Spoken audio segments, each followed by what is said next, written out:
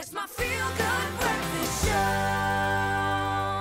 Welcome back, all you beautiful people. You are still keeping it locked right here to your Feel Good Breakfast Show on SABC3. Now, with a toddler and a beautiful newborn baby, you can see we are swooning. Expresso presenter and our favorite SAFTA nominee, Graeme Richards, my bestie, seems to have his hands full, uh, full during this lockdown. Now, let's check in with our G-man to find out how he is navigating fatherhood a second time around and how little Jack feels about the new addition to the family. Good morning, G. Good morning, you beautiful thing. How's it going? I miss you so, so much. But you look good. Um, yeah, sleep's been in, in short supply, but um, feeling feeling fantastic, feeling very blessed at the moment. Just um, yeah, absolutely loving loving every second with this little one. So I've got a very full and busy household around me. Everyone's just woken up, so it's just, if the little ones pop their heads in, just to excuse it. I can imagine it must be a bit of chaos on your side, but it's been one week and one day. How has it been? Give us a bit of an update. How is baby Georgia doing?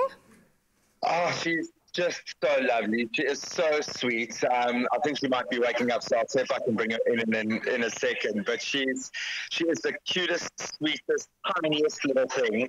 She is so small. Nothing nothing fits her. All her newborn stuff is like massive on her, but she's and she's really cuddly. She just wants to cuddle in and be held. Um, she's just the sweetest, cutest little thing. Hasn't quite found her cry yet. Um, I see Lindsay just brought her down now, so I'll grab her in a sec. But she's She's lovely. She's absolutely no bother. Feeding kind of every three and a half, three, three and a half hours. So our sleep cycles are kind of moving like that. But she's been an absolute joy. She is so sweet, so so cute. My ovaries, what are you doing right now? But how much is your your your and Lindsay's uh, daily routine change with uh, little Georgia now? Are you taking turns on nappy changing duty, Daddy? Um, oh, of course. There you go. Do not, do not. Let me see. oh my word! Lift her up a bit. I can't. Lift. Daddy, she is good. Hello, Georgia. It's your favorite auntie. Hi, Georgia. Cat. Oh, Oh my. Oh, she, She is, is- so sweet. She very much is so beautiful. How do how yeah, so our, our lives are revolving around this little one. It's um, kind of uh, Linz is obviously doing the, the lion's share of the of the feeding, and it's been fantastic finding a rhythm there. There's Hello, Linz. Lindsay.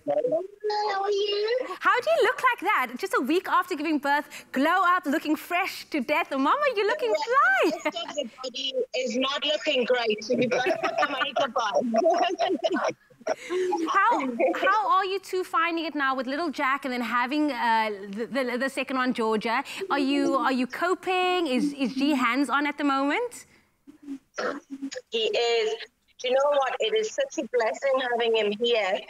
Um, you, you know, you forget, um, you know, that Jack, he, he's a really good boy and he can play and keep himself occupied, but they do want your full attention as well.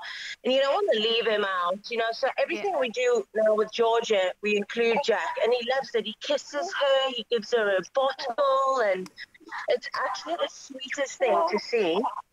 I promise but- after lockdown, I'm going to be the babysitter. But let's talk about Jack though. Or is is he like taking it on full big brother role full on, or is he a bit like shy with her?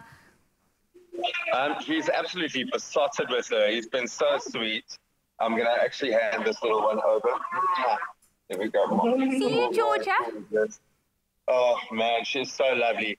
Um, he's been wonderful. I think he's, he's a little bit besotted with her. Um, but I, I think all the work that we did beforehand, kind of getting him used to the idea, um, really has helped. He's just kind of carried on regardless. He's very, very affectionate with her and is very responsible with her for his his age. And I mean, he's, he's still a three year old, and you know, I think he he will let us know when he's feeling like he needs a bit more attention. But he's been been awesome. I'm uh, I'm actually just amazed. Like even the dogs. I think think that she is their baby, so everyone's just adopted her.